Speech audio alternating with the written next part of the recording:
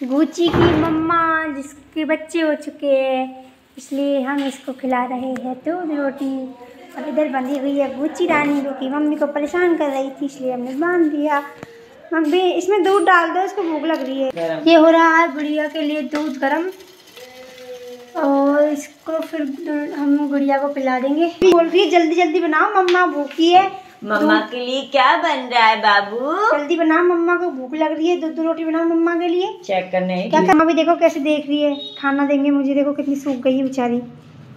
इसको खाने की बहुत ज़रूरत है। शुरू शुरू में तो हमने इसको हलवा खिलाया था पर ये रोज़ नहीं आती। जब भी आती है मैं इसको खाना खिला देते देखो कितनी पतली हो गई है।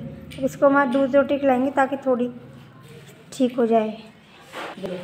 और ये रहा दूध।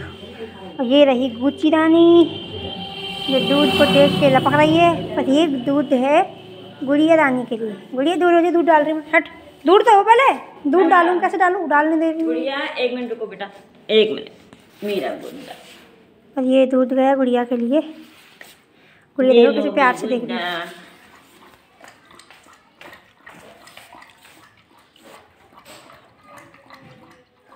उधर से गुच्ची भी देख रही है। गुच्ची तेरी मम्मा को भूखी लग गई बेटा।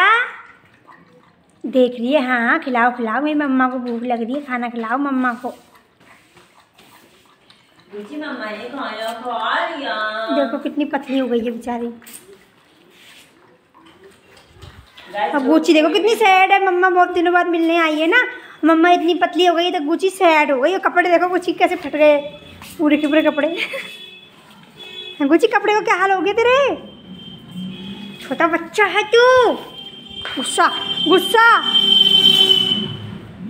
क्या हुआ भाई? गुस्सा क्यों होता है?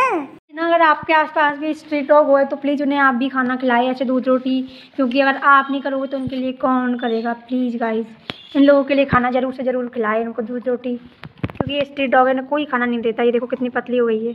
गली में भी कोई इसे खाना नहीं देता, इसलिए बेचारी आज से हमारे घर पे आई है और हमने इसको खाना दे दिया है। और ये कभी कभी आती है, अगर डेली आती है तो शायद ये मोटी हो जाती है अब तक।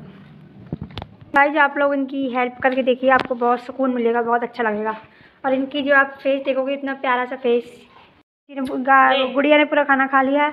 और गुड़िया देखो कैसे बाहर जाने के लिए तैयार खड़ी हो गई मुझे बाहर। उसने खाना खा लिया उस बच्चों के बच्चों के पास जाना है उसको। जाओ बाय बाय फिर आना। देखो चले। देखो भाई चले गई ना खाना खा के अपने बच्चों के पास।